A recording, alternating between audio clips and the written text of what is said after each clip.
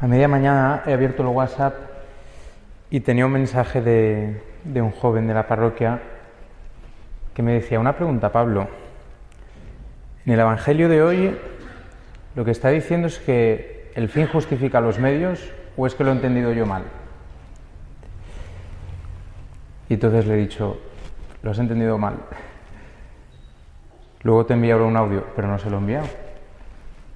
Así que luego le enviaré esta humildad y ya está. Mirad, la clave para poder entender hoy el Evangelio está en el párrafo final. Ciertamente, los hijos de este mundo son más astutos con su propia gente que los hijos de la luz. ¿Qué es lo que ha hecho este administrador infiel? Este administrador que estaba derrochando los bienes de su amo. Pues cuando lo han pillado para ganarse amigos con el dinero injusto, lo que dicen los que saben de Biblia y nos cuentan a los que hemos estudiado en algún momento de nuestra vida, es que lo que está haciendo él es renunciar a su parte de los beneficios. Por eso el amo alaba al administrador injusto al final de, o sea, el administrador que administraba los bienes de este amo, en cada cobro que hacía, él se llevaba una parte, y eso era de lo que él vivía. Y entonces, antes de que se acabe su tiempo de poder gestionar estos bienes, lo que hace es renunciar a la parte extra de esos recibos, que era lo que se iba a quedar él, para ganarse amigos en todos estos deudores que tenía su amo. Hasta el punto que incluso se gana eh, esta felicitación de su propio amo. Ciertamente los hijos de este mundo son más astutos con su propia gente que los hijos de la luz. ¿A qué nos está invitando el Señor en este Evangelio? Yo pienso que nos está invitando a espabilar. Nos está invitando a espabilar, a estar en vela, a estar atento, a poner nuestros dones en juego, a poner nuestra inteligencia al servicio del reino de Dios y al servicio del Evangelio y al servicio de nuestra propia salvación. Está diciendo, mira los hombres de este mundo cómo hacen los negocios, mira cómo se mueven, mira cómo utilizan todos los medios que tienen para sacar su propio beneficio. Y si no nos damos cuenta, pues con las noticias de esta semana tenemos unos cuantos ejemplos claros. Y sé tú igual despabilado para acoger la salvación. No te duermas en los laureles. Este administrador injusto, este administrador que es un ladrón y que está derrochando los bienes de su amo, es capaz de solucionarse la vida para no tener ni que trabajar ni que mendigar, para dejarse el sustento asegurado. Y tú y yo con nuestra propia salvación, con la vida eterna, somos igual despabilados. ¿Aprovechamos todos los medios que Dios nos regala para acoger su salvación? ¿O estamos un poco dormidos? ¿O estamos un poco despistados? Y mirad, hay una cosa importante y es que este administrador, por un bien futuro, renuncia a unos beneficios presentes. Sabe que no puede tenerlo todo. Podría haber dicho, bueno, me quedo con los beneficios y con esto intentaré tirar. Pero es más inteligente y dice, no, voy a renunciar a estos beneficios temporales por unos beneficios mayores futuros, que será llevarme a bien con todos estos negociantes. No se puede tener todo. Esta semana escuchábamos, quien no renuncie a todos sus bienes no puede ser discípulo mío. Cuando intentamos tener todas las cosas que nos promete este mundo y al mismo tiempo seguir a Cristo, antes o después entramos en conflicto. Y este conflicto siempre nos obliga a tomar parte. Y si en nuestro corazón no hemos renunciado a las promesas de felicidad de este mundo, tomaremos parte por ellas y renunciaremos a Cristo. De eso es de lo que nos está alertando el Señor. ¿Qué enseñamos a nuestros hijos, a nuestros nietos, a nuestros sobrinos que lo importante es tener salud, ¿verdad? Tener un buen trabajo y unos buenos estudios para tener una buena casa, para tener un futuro asegurado, con unas buenas vacaciones. Nos preocupamos bien, ¿verdad? De que nuestros hijos, de que los nietos, de que los sobrinos, de que coman bien, de que se vistan bien, de que aprendan inglés, baile, un deporte, música, de que tengan experiencias en el extranjero. Todas esas cosas ¿eh? nos preocupan mucho. Y muchos, los que sois padres y los que sois abuelos, habéis dado mucho para que esto sea así, ¿verdad? Pero hemos puesto y ponemos el mismo interés en la transmisión de la fe. Nos preocupa lo mismo que descubran el amor de Dios, que conozcan la enseñanza de la Iglesia, que aprendan a rezar, a relacionarse en Dios como un Padre, que descubran a Jesús como su mejor amigo, como su hermano, como su Salvador, como su Señor, que aprendan a confesarse habitualmente, que no haya un solo domingo que falten a misa. ¿Nos preocupa igual? Seguramente no del mismo modo. Y es que ciertamente los hijos de este mundo son más astutos con su propia gente que los hijos de la luz. Mirad, nosotros, dice San Pablo, que no somos hijos de la noche ni somos hijos de las tinieblas, somos hijos de la luz e hijos del día, es decir, hijos de Dios, que como dice San Juan, es luz sin tiniebla alguna.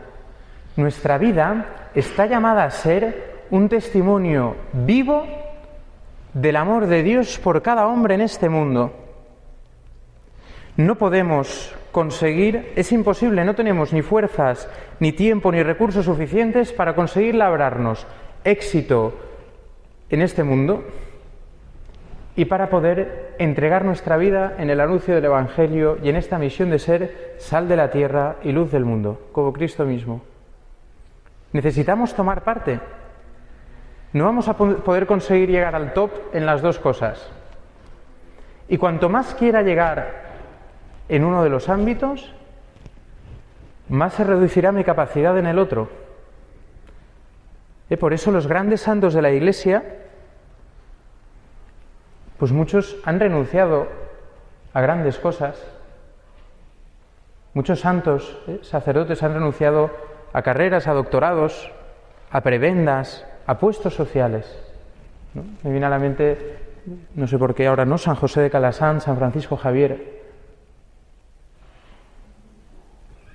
Y sin embargo, cuando nuestro corazón está puesto en las cosas de este mundo, en el dinero, en la opinión de los demás, en el éxito, que también puede ser dentro de la iglesia, en que me respeten si soy catequista de no sé quién, si soy encargado del consejo de pastorales, si estoy en el despacho, en si he hecho, en si he dicho, en si yo llevo mucho tiempo aquí, eh, ahora que somos aquí dos sacerdotes, un seminarista y unos cuantos preseminaristas, también en la iglesia, en lo que pensarán de mí, en lo que dirán, en la imagen que tenga el rector, después el obispo o el vicario episcopal o el sursum corda.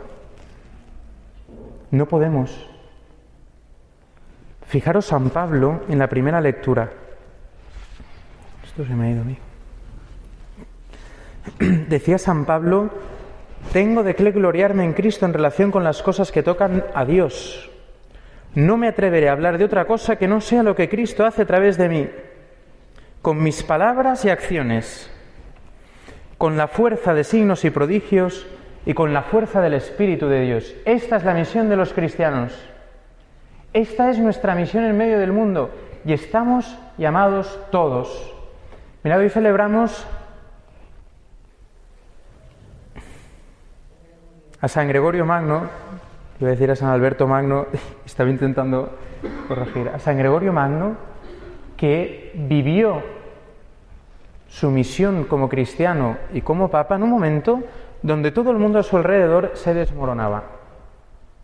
Estamos en un momento histórico, en un momento social, donde nuestra sociedad europea, nuestra sociedad española, nuestras instituciones también se desmoronan, donde todo cae donde lo que valía hace 20 años, hace 30 años como valores fundamentales intocables, ya no existen.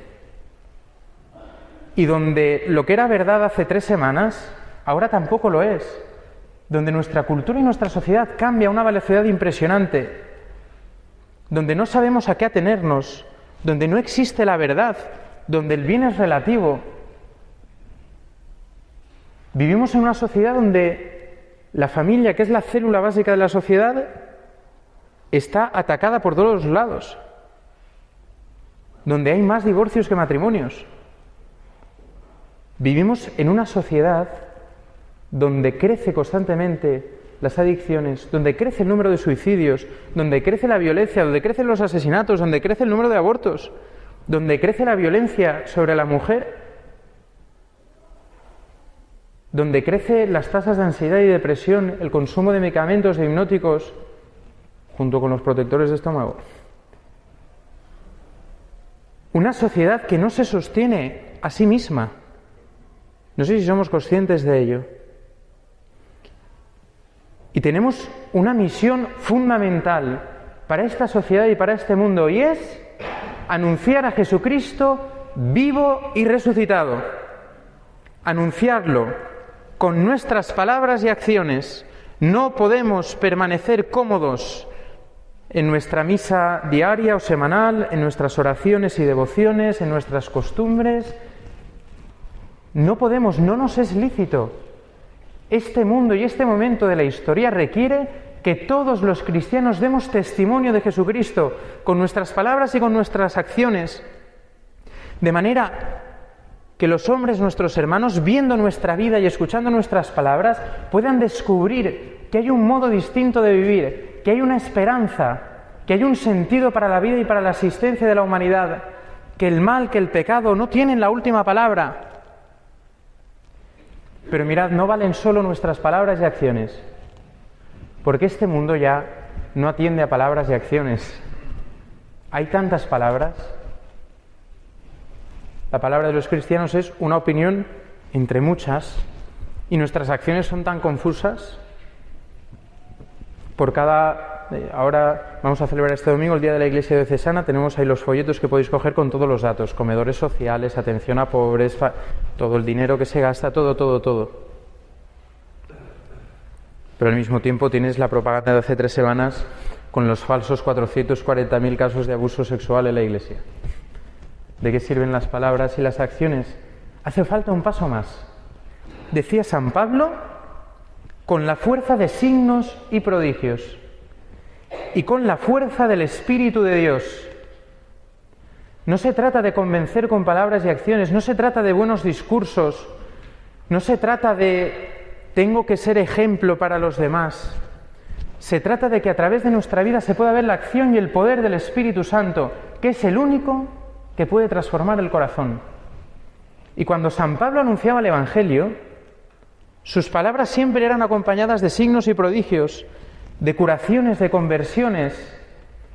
Invocaba al Espíritu Santo y aquellos hombres recibían el bautismo en el Espíritu y su corazón era transformado, la ciudad se llenaba de alegría y veían el poder sobre el enemigo, veían a los endemoniados librarse, veían con sus propios ojos signos fehacientes de la presencia de Dios en medio de los hombres, igual que cuando Jesús anunciaba el Evangelio. Y nos podríamos preguntar, ¿Y dónde están estos signos y prodigios con los que San Pablo anunciaba el Evangelio? ¿Dónde está esta fuerza del Espíritu de Dios que se podía ver y percibir por todos los hombres? Pues es que ciertamente los hijos de las tinieblas son más astutos con los suyos que los hijos de la luz. Y es que sabéis qué pasa en esto de la evangelización, que muchas veces ni nosotros mismos nos creemos que el Espíritu Santo tenga poder para actuar en nuestra vida y en la de los demás. Por eso tal vez nuestra evangelización es tan débil en medio de esta cultura y de esta sociedad cada vez más paganizada. Jesús dijo, a los que vayan en mi nombre les acompañarán estos signos. Curarán enfermos en mi nombre, expulsarán demonios, cogerán serpientes con sus manos. Si beben un moreno mortal no les hará daño. ¿Dónde están estos signos en la iglesia de hoy? Nuestra fe está débil y por eso nos cuesta tanto dar testimonio creíble de la victoria y del amor de Cristo por cada hombre. Por tanto, ¿qué necesitamos para poder crecer en esta astucia? Sed prudentes como serpientes, sencillos como palomas, ser astutos. Dice el Señor cuando envía de dos en dos a sus discípulos a anunciar el Evangelio. Pues necesitamos ser renovados en el Espíritu Santo, personalmente, comunitariamente y como Iglesia Universal. Por eso el Papa Francisco ha pedido a la renovación carismática católica a todo el mundo que extienda la experiencia del bautismo en el Espíritu Santo a toda la Iglesia y que extienda la realización de seminarios de vida en el Espíritu. Hace tres años lo tuvimos aquí en esta parroquia y seguramente este curso, en el tiempo pascual, volveremos a tener uno para que aquellos que no lo pudieron vivir lo puedan vivir. Necesitamos ser renovados en el Espíritu Santo para poder creer en la palabra de Jesús y para poder anunciar el Evangelio con palabras y acciones, con la fuerza de signos y prodigios y con la fuerza del Espíritu Santo. Y mirad, y no solo anunciarlo los que ya estamos dentro, que estamos muy cómodos, considerando una cuestión de honor, no anunciar el Evangelio más que allí donde no se haya pronunciado aún el nombre de Cristo. Necesitamos salir de nuestra comodidad, salir de nuestras parroquias, salir de nuestras casas, anunciar el Evangelio a tantos hombres y mujeres que hoy, aquí en Ontinyent, no han escuchado el nombre de Cristo. Yo he visto en esta parroquia entrar niños con sus madres y decir, ¿qué es eso? Decir, es Jesús. Y decir, ¿y por qué está ahí? Pues porque lo mataron. ¿Y por qué lo mataron? Niños que nunca han oído hablar de Jesús, que no saben que tienen un Padre en el cielo, que no saben que alguien les quiere, que les cuida, que su vida tiene un origen y una meta, un sentido. Tenemos una misión muy importante y no tenemos derecho a permanecer impasibles, porque el Señor quiere cumplir esta palabra del Salmo. Los confines de la tierra han contemplado la salvación de nuestro Dios. Aclama al Señor tierra entera, gritad, vitoread, tocad, ante lo que vemos en nuestro mundo, ante el avance del mal en tantas dimensiones, en tantos lugares, en tantas guerras, en tantas mentiras, en tantas leyes injustas, ante nuestros propios pecados y nuestra propia debilidad, ante las turbulencias que también vive la Iglesia de tantos modos y en tantos lugares, nuestra misión no es la queja, ni la tristeza, ni la desesperanza, ni siquiera la de algunos puede ser que sí, pero a nivel general ni siquiera el combate político. Nuestra misión es la oración, la adoración, la celebración de la Eucaristía, acoger la gracia de Dios y la fuerza del Espíritu Santo y dar testimonio con nuestras palabras y acciones, con la fuerza de signos y prodigios y con la fuerza del Espíritu Santo, de que el amor y el poder de Dios son más fuerte que el pecado, que la destrucción, que la mentira, que el mal y que la misma muerte.